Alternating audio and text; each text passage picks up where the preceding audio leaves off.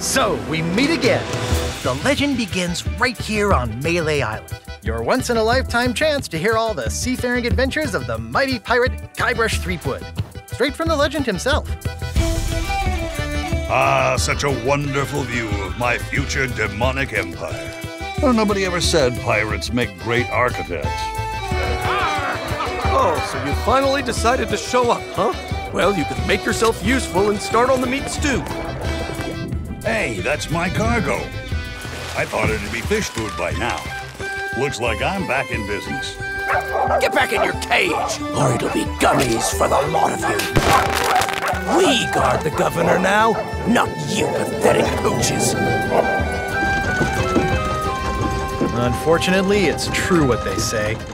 You can't keep an undead, obsessive, vindictive, demonic sea scourge down. Pirates on your precious sea of thieves practically tripped over themselves to deliver me this sword.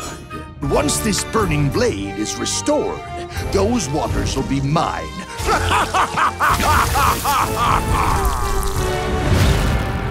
LeChuck has come to know the Sea of Thieves.